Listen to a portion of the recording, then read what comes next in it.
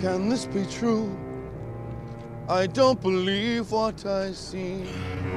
A man your age, to be as strong as you are. I couldn't believe my luck to discover that one of the biggest movie stars on the planet and one of the world's great, great actors was passionate musical man with a background in it and a fantastic voice. I had seen him just as he was starting his career doing musicals in Australia. I always did remember that his first love was musical theatre.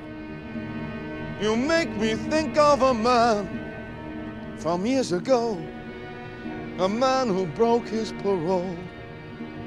He disappeared. Just became one of those things where once it was on my radar scope, it was just something that I just really wanted to do. You know, and I wanted to spend that time with music in my life.